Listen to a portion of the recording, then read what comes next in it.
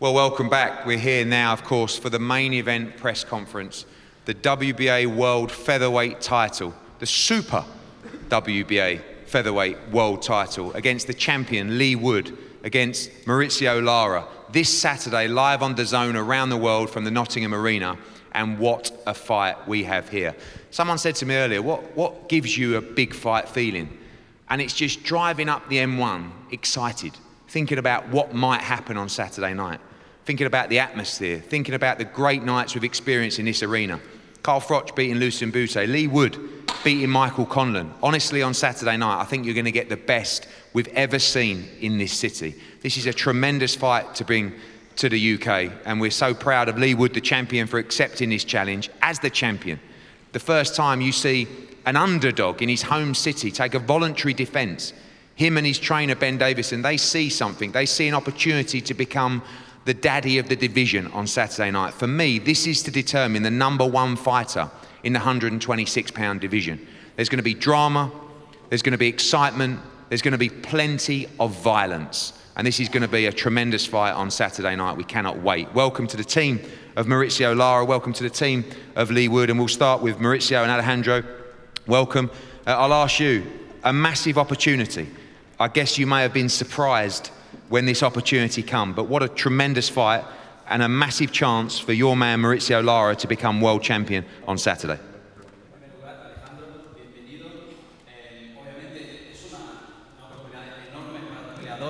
Quizás una oportunidad que, que, vino de sorpresa de poder pelear por un título mundial, pero es una oportunidad enorme para Mauricio Lara para convertirte en campeón del mundo el sábado por la noche. Sí, así es, Eddie. Antes que nada, eh, agradecer la, la, oportunidad a la empresa Matchroom, agradecer al equipo de Wood de habernos dado la oportunidad para que Mauricio esté a dos días de poder cumplir el sueño tantas veces anhelado de disputar un título del mundo y de ser campeón mundial, que para eso ha entrenado y se ha esforzado tanto tiempo.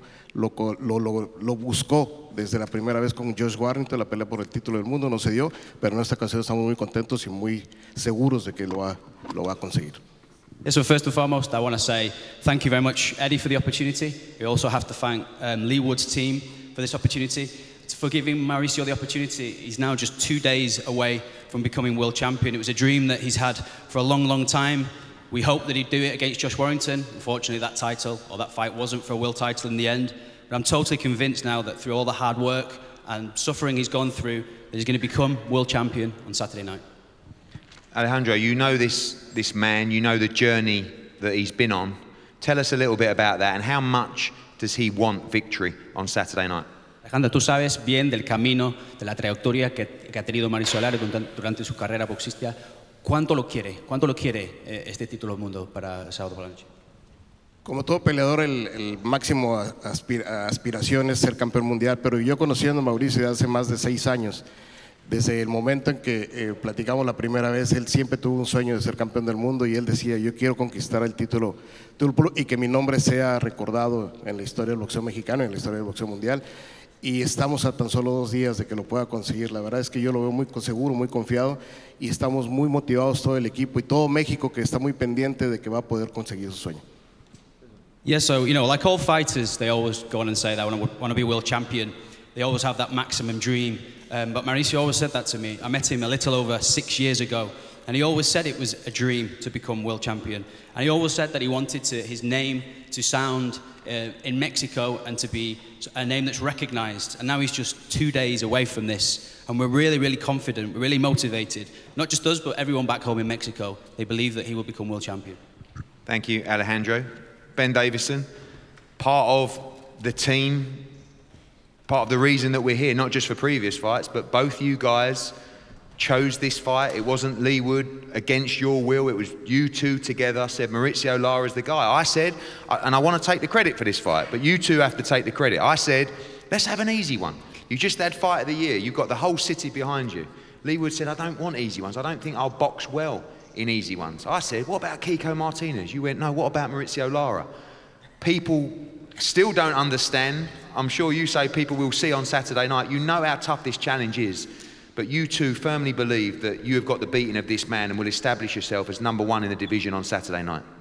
Yeah, styles make fights uh, more than levels. And, um, you you know, Leigh Wood's been written off num- numerous times for his career. Uh, when he lost it for the British title early on, when he lost in the Golden Contract, when he was boxing Can Xu, when he was boxing Michael Conlan, and every time, you know, he's come back better and stronger, and that's uh, and, and rose to the challenge, and that's when you see the best of Leigh Wood.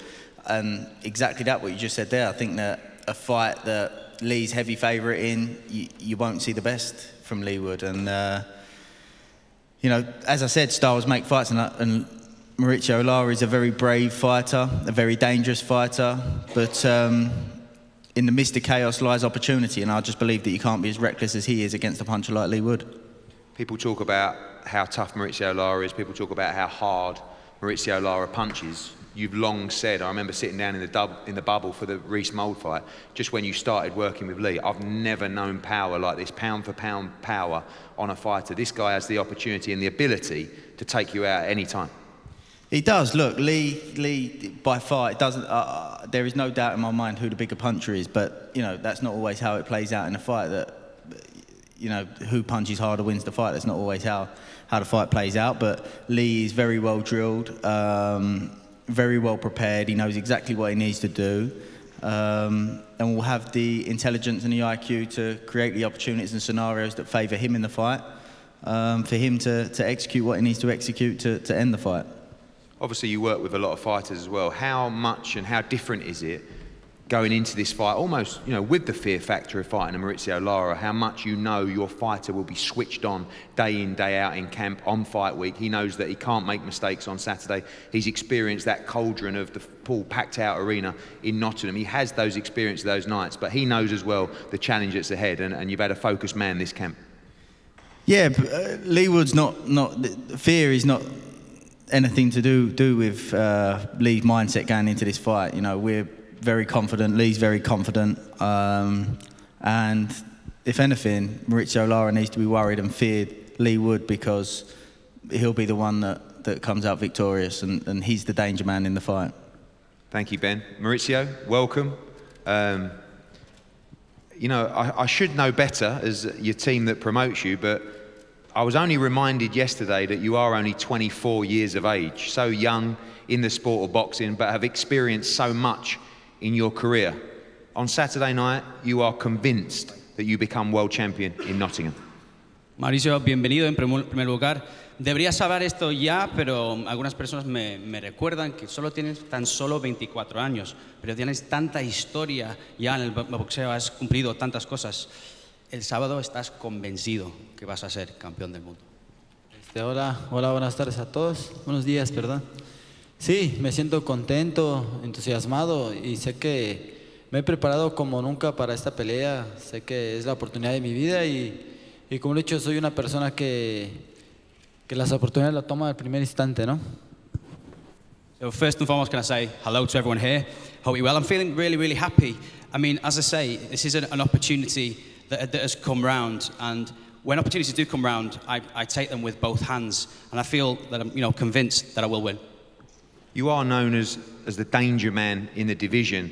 Um, Leigh Wood's trainer just says that you should fear Leigh Wood in this fight with his punch power as well. You, you take this fight very seriously and you know this is a very dangerous fight for you. Obviamente hemos escuchado el equipo de Leigh Wood diciendo que te- tú también te debías tener un poco de miedo porque él también tiene poder y también tienes que tomarlo como una pelea seria, ¿no? Ese, ese- el sábado por la noche. Eh, bueno, claro, sabemos que ni un, ni un, yo ningún boxeador lo menosprecio, ¿no? Pero sé qué capacidad tiene Bronco Lara para una pelea del título del mundo. Sé que estoy muy bien preparado, sé que vengo con muchas ganas. Como lo dije, espero se haya preparado muy bien para una guerra. Yo no vengo a una pelea, yo vengo a una guerra, a morirme en la raya, a llevarme el título del mundo sí o sí. So of course, you know, I'm, I'm not disrespecting him in any way, but I just know the capability of Bronco Lara and, and he will go on and win the world title. You know, I prepared better than ever, and I prepared not for a fight, for a war, and I'm prepared to leave absolutely everything in there. And finally, the UK fans have become familiar with your style, all action, dangerous, sometimes reckless, but always explosive. Is that should, what they should expect on Saturday? And do you win this fight by knockout? Obviamente tenéis como fans británicos ya conocen tu estilo, que eres muy explosivo, a veces haces cosas muy des- descuidadamente en, en el ring. Podemos esperar lo mismo el sábado por la noche y va a ser un KO para el Bronco Lara. Eh, claro, vengo a esto, yo os lo dije, esta pelea no va a terminar por decisión, esta pelea no, no va por decisión, entonces, como lo dije, ya Reino Unido es como mi segunda casa, me siento muy contento de que me hayan un buen recibimiento aquí, que me apoyen en redes sociales, la verdad, vengo a dar todo, vengo a dar todo este 18 de febrero. So, of course, you know, um, I've prepared as well as I possibly can. I feel like um, this is almost my second home. This will definitely not go to the scorecards, I can tell you that. The UK, as I say, is like my second home. I feel like I've been supported on the social media platforms, and I'm going to give absolutely everything on the 18th. Thank you, Mauricio. Leigh, welcome back. It's almost, you know, like another day in the office now. I remember giving an interview, I think, with the BBC yesterday, and I said, I remember Carl Froch for years and years just saying to me, do me a favour, give Leigh Wood six rounds on my undercard because he's just, you know, he's a great fighter and he's got big support, but he's just not getting the chances. Amazing to see that after all those struggles and all those efforts, you're in fights like this to ultimately decide, I believe, who is the number one fighter in the division on Saturday night. Yeah, it's, a, it's been a, um, a long journey to get here. Um, and first of all, why is this not public, this one? I promised to 300 people a sing, Tomorrow, a sing song in here, you know. So I'm going to get a bit of stick for that. Um, but yeah, like I said, you know, just that little kid um, at the Froch Fights trying to get a, a little slot on the undercard. Um, I've come a long way since then. Um, you know, and there's nothing going to be that's going to beat me on Saturday night. Nothing at all. Um, nothing that he can bring that I'm not prepared for. Um, he's ready for a war, but um, I'm ready for a smart tactical knockout. Ben said yesterday that you hate going into fights as the favourite. Was that a little bit, you know, and I was surprised at the actual odds for this fight. You know, I see this fight as a 50 50 fight, as many do, but you are another big outsider going into this fight. Is that part of the mindset where you've kind of always been that underdog for your career and, and many expecting you to fall short on Saturday night, but they were against Can Xu, they were against Michael Conlan, and you keep on proving the odds wrong? Yeah, I think the underdog uh, mentality going into a fight does help a little bit. It's more of having that danger with the Xu Can fight. It was punches, output, massive output. You're gonna get your head used as a speedball, blah blah blah. So there's a bit of fear factor of that angle to get me up for the fight. With the Conlan fight, you know, it was a southpaw. Bearing in mind, I boxed one in my career before then, competitively. Um, very, very skillful and uh, massive amateur pedigree. So there was that factor as well. This fight, you know, it's, it's a new approach, um, but a similar kind of thing. We've got the fear factor, he can punch, he's dangerous. Um, whichever way this fight goes, you know, I'm prepared for it. Um, but like you say, the underdog mentality, um, not only I strive on, but I kind of need it. So. And finally, just a couple of hundred tickets left away from a sellout. Shout out to Auntie Sue as well. Has done a great job. You've done over 3,000 tickets yourself, or Sue has. We sell out, we complete sell out. We've got a couple of hundred tickets there. We'll be a complete sellout on Saturday night. So if you're in Nottingham, make sure you're part of this. But a quick word on the support. You know, I mean, it's tough times at the moment. Yeah. You know, everyone is obviously have a cost of living crisis. People want more value than ever when they're attending events. They're going to get a tremendous night and a great fight on Saturday. But a word for your city that really have shown out. And last time in the Michael Conlan fight, you know, in that 9,000, there was probably 5,000 or 5,500 Nottingham and 3,500 Irish. The full lot, I mean, no disrespect to the travelling Mexican fans, but I don't think there's going to be many on Saturday night. But 9,000 in there for you cheering, the ring walk, everything we've created. This is, this is what you've dreamed of for a long time. Yeah, it's going to be special. Um, and I've, I've said this in previous interviews this week. You know, it is going to be a wolf pit. It's going to be a cauldron. You know, um, hostile.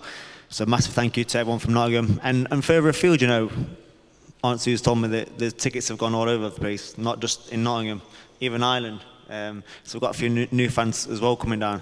But yeah, it's going to be a great atmosphere. So thanks for getting behind me. Um, you know, every time I get in that ring, um, I put it all on the line. Every single drop of me is going into this fight. Um, whatever I have to do, um, by hook or by crook, um, by knockout or by points, whatever it takes. If I have to pick myself up, I can pick myself up. And I've shown in my last fight, I'm resilient. I can punch.